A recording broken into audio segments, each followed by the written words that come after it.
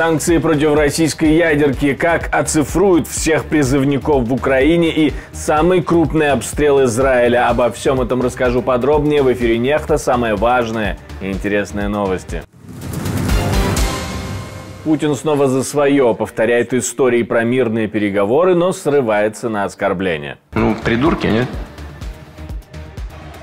Ким Чен Ын готов отказаться от идеи объединения полуострова и хочет обозначить Южную Корею как главного врага. Нестабильность в региональной обстановке резко возрастает.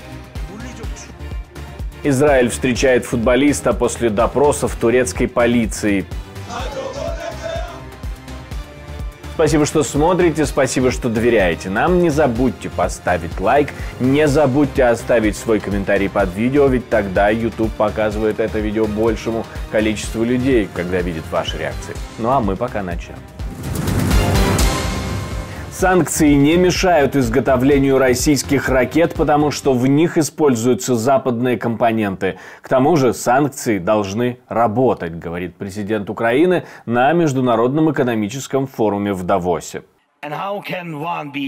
Как можно быть довольным санкциями против России или экспортным контролем, если они даже не блокируют ее ракетное производство в каждой российской ракете? В каждой ракете есть критические компоненты из западных стран. Десятки компонентов. Это правда. Это факт. И, конечно, я благодарен за каждый пакет санкций. Спасибо, партнеры. Спасибо. Но приближение мира станет наградой для всех, кто заботится о том, чтобы санкции работали на 100%. Кстати, это явная слабость Запада, что российская атомная промышленность до сих пор не находится под глобальными санкциями. Хотя Путин, единственный в мире террорист, взявший в заложники атомную электростанцию. Президент выразил сомнение в том, что войну можно заморозить, не опасаясь о ее быстрой разморозке отказавшись от э, переговоров, они же отказались от переговоров.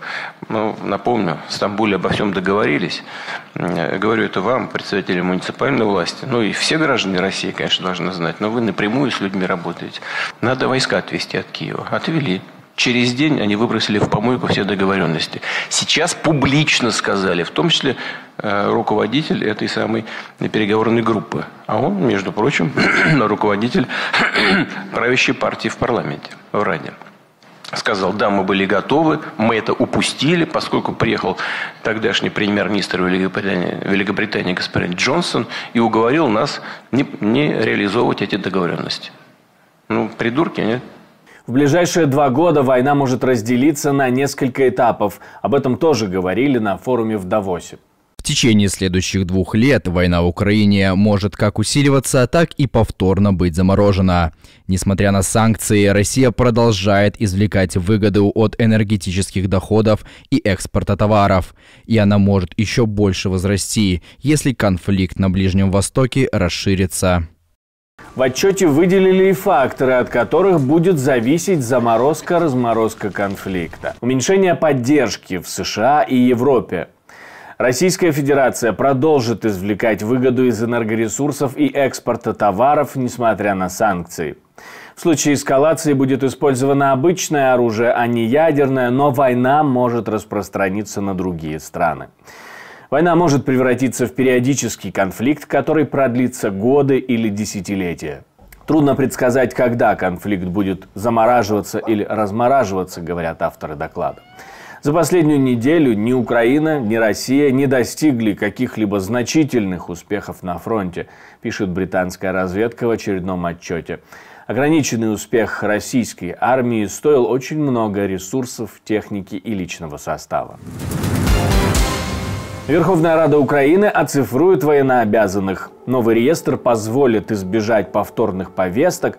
Также отпадает необходимость в рейдах сотрудников ТЦК по спортклубам и ресторанам. Теоретически. А также позволит хранить данные обо всех военнообязанных, да и вообще всю информацию в одной базе данных в облаке, правда на серверах стран НАТО. Это, по мнению разработчиков законопроекта, должно как-то упростить доступ к развединформации стран-партнеров и обезопасить сами данные. Но депутаты относятся к нему по-разному. Нельзя размещать секретную и совершенно секретную информацию на сервисах за рубежом. Тем более системы боевого управления во время войны. Это пример простых решений, которые могут привести к катастрофическим последствиям, которые исправить потом будет невозможно. Подобные законопроекты принимаются со скандальными дискуссиями, как, например, указывает другой депутат Ярослав Железняк, но все равно принимаются. Протест на польско-украинской границе окончен. В двух пунктах пропуска перевозчики начинают разблокировать границу. Правительство подписало соглашение с перевозчиками и продолжит работу над выставленными ими условиями. Протест будет прекращен до 1 марта. Это не означает, что диалог заканчивается. Наоборот, мы начинаем очень интенсивные, конструктивные переговоры, направленные на то, чтобы добиться конкретного результата, выполнения решений, которые мы обсудили. У нас еще много работы. Польша ведет с Украиной переговоры о введении лицензий на импорт, что могло бы стать решением для фермеров. Варшава говорит о лицензиях, которые регулировали бы не только зерновые, но и фрукты, овощи, птицу, яйца или сахар. И хоть такое решение и не очень соответствует принципам свободного рынка, Еврокомиссия была готова на него пойти при условии окончания польско-украинского спора. Теперь речь идет о проверке уже существующих украинских лицензий.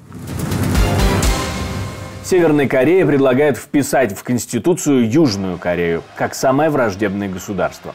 А Ким Чен Ын предупреждает, что его страна не намерена избегать войны, если таковая случится. Да и в принципе пришел Ким Чен Ын к выводу, что объединение с Южной Кореей больше невозможно. Взвешенно оценив особую обстановку, в которой в ближайшем соседстве с нами существует самое враждебное государство Республика Корея, и ситуацию, в которой из-за эскалации военной напряженности под руководством США нестабильность региональной обстановки резко возрастает, мы пришли к выводу, что опасность, начала войны, которая может быть вызвана физическим столкновением, значительно усилилась.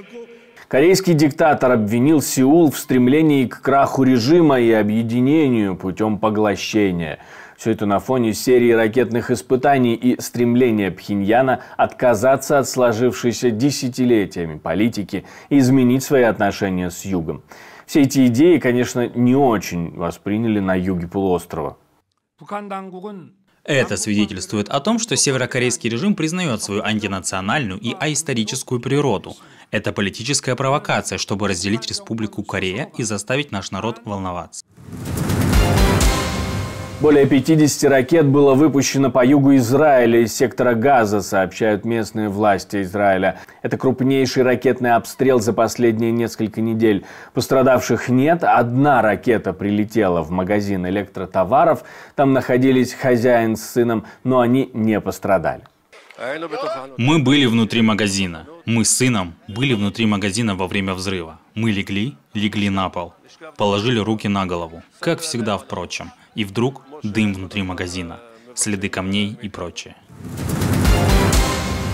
Израильский футболист Сагиф Ехезкель вернулся в Израиль после допроса турецкой полиции. В аэропорту Бен-Гуриона его встречали ликующие болельщики. И все это из-за надписи на запястье, которую он показал на камеру во время матча, намекая на то, что прошло 100 дней с момента нападения Хамас на Израиль с 7 октября.